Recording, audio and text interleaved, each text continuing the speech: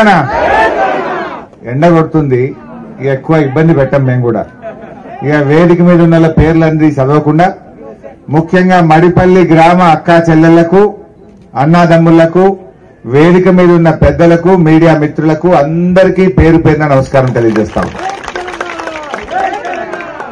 సరే ఓట్లు నాలుగు నెలలకెళ్ళి విని విని విని విని చెవులన్నీ ఇదైపోయినాయి. కానీ ఇక దగ్గరకు వచ్చింది. ఒక వారం ఉన్నది ఇక వారం దాకా ఉంటుంది ఇంక ఈ లొల్లి.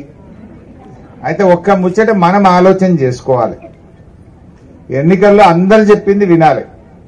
ఏ తోవల పోతే మనకు పని అవుతుంది మనకు అన్నం పెట్టే చెయ్యేది కష్టంలో మనం నిన్నటిదాకా ఆదుకున్న పార్టీ ఏది రేపు మనను కాపాడగలిగేటోళ్ళు ఎవరు మంచికి చెడుకు అని ఆలోచన చేయాలి. అంతే తప్ప నాలుగు కాయగొరుకుడు మాటలు చెప్పో మొసలు కన్నీరు గార్చి ఏడ్చి నాలుగు డైలాగులు కొడితే అది కడుపు నింపదు. మీరు వినండి.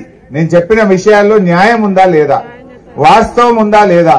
ఇది కరెక్ట్ అయితేనే మా పార్టీని గెలిపింది లేదు ఇలా ఈటల రాజేందర్ గారు చెప్పేది కూడా వింటున్నారు ఏం చెప్తున్నాడు? ఒక్కటన్నా ప్రజలకు పనికొచ్చే మాట ఉన్నదా? ఎంతసేపు ఏమంటాడు? ఇగో దళిత మంది ఆపాలి సిలిండర్ ధర పెంచాలి గ్యాస్ పెరగాలి పెట్రోల్ పెరగాలి డీజిల్ ధర పెరగాలి కాయగూరలు పెరగాలి మంచి నూనె పెంచి చేసినేమో మీ బీజేపీ పార్టీ కథ గిది. ఇంకా ఏం చెప్పి అదేం చెప్పనీకి లేదు కదా. ఇప్పుడు టీఆర్ఎస్ వాళ్ళం మేము వచ్చినాం. ఏం చెప్తాం చెల్లె?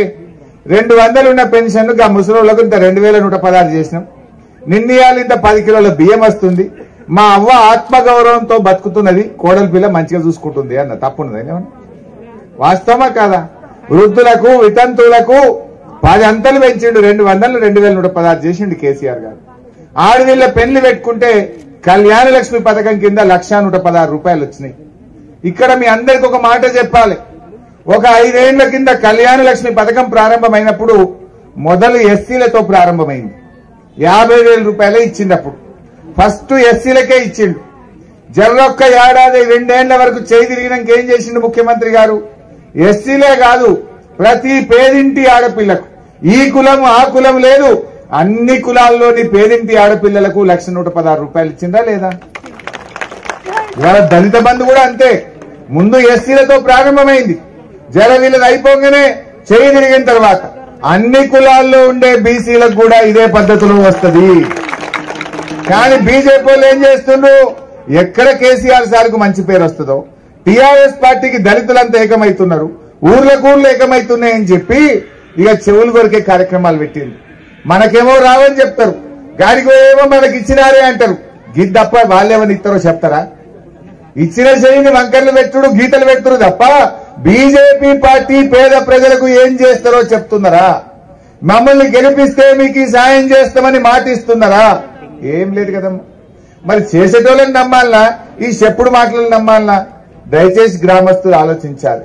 అంటే వాళ్ళు మనకు రెచ్చగొట్టి ఏదో నాలుగు ఓట్లు పొందే ప్రయత్నం తప్ప అది చేయగలిగే ముచ్చట కాదు. ఎప్పటిదాకా చెప్తారు? ముప్పై తారీఖు దాకా చెప్తారు. ముప్పై తారీఖు తర్వాత ఈ రాష్ట్రానికి ముఖ్యమంత్రి ఎవరు ఉంటారు చెల్లె? ఎవరుంటారు? మరి ముఖ్యమంత్రిగా కేసీఆర్ ఉంటాడు. కేసీఆర్ దయ మీ దయ ఉంటే గెలిచిన ఎమ్మెల్యేగా ఉంటాడు నేను ఆర్థిక మంత్రిగా ఉంటా.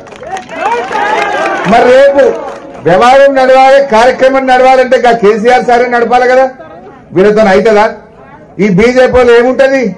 మా అంటే గెలితే గెలవనే గెలవరు. గెలితే గిట్ట రెండు పోయి మూడు అవుతాయి తప్ప మంత్రి అయ్యేది ఉన్నదా? గవర్నమెంట్ వచ్చేది ఉన్నదా? ఎట్లా పని అవుతుంది వీళ్ళతోని? ఇప్పుడు దునపోతు గడ్డేసి బరిని వింటూ వస్తాయి. మనం ఎందుకు ఆగం కావాలి? నేను మా అక్క చెల్లెలకు మా గ్రామ పెద్దలకు మడిపల్లి కాడ అందరికి నేను ఇచ్చే మాట ఒక్కటే.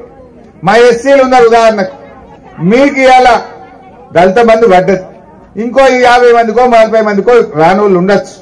కానీ ఇద్దామంటేనే మొన్న వాళ్ళు ఢిల్లీలో కంప్లైంట్ ఇచ్చిండ్రు. ఇచ్చి ముప్పై తారీఖు దాకా ఇవ్వద్దు అన్నారు. ఎన్ని రోజులకు ముప్పై తారీఖు? చూకుండా గడిచిపోతుంది. ఎనిమిది రోజులు. ఆ తర్వాత ఉండేది మనమే కదా. తప్పకుండా మా మడిపల్లిలో ఒక్క కుటుంబం లేకుండా నాలుగో తారీఖు తర్వాత మేమే వస్తాం. మా గెలిచిన గెల్లు సీన్లు తీసుకొని నేనే వస్తా. మీ యూనిట్లు గ్రౌండ్ చేసి ఎవరన్నా మిగిలిపోతే కూడా ఇప్పించే బాధ్యత నాది అని చెప్పి మనం చేస్తా ఇంతకీ మా ఛానల్ను సబ్స్క్రైబ్ చేసుకుంటారుగా?